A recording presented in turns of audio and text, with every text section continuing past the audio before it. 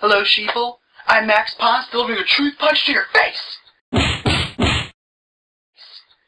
Alright, so, I've been hearing all this stuff about women who are upset because people are shooting them. Now, some people say this is awful. Some people say we should punish the guy shooting them. But, there's one little detail that is suspiciously being left out of the mainstream media's coverage. And you know what that is? That these women were wearing shirts, that's right, shirts, that had designs on them shaped like targets. Targets! Now, you're a man, young, virile, strong, healthy, you see a target, you're gonna fucking shoot it.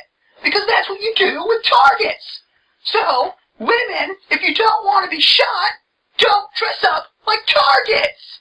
It's really that simple. Are you an idiot that you think that you can wear a shirt with a target on it and be just fine?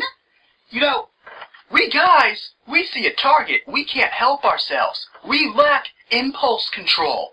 It is up to you to not provoke us. If you provoke us, then it's your own fault that you got shot.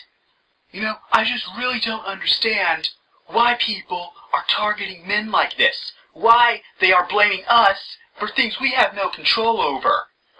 It's really a sign of our misandrous, misandrous, misandrous, of our men-hating culture.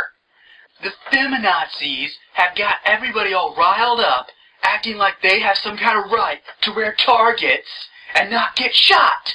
And you know what I say? I say, men, go out, find every red and white circular object, and shoot it! I don't care! Just shoot it! We are, we have to stand up to these feminazis! Do you understand me?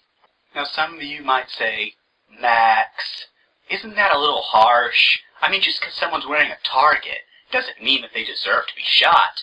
To that I say, you have just been brainwashed by the feminazis. And folks, they're real.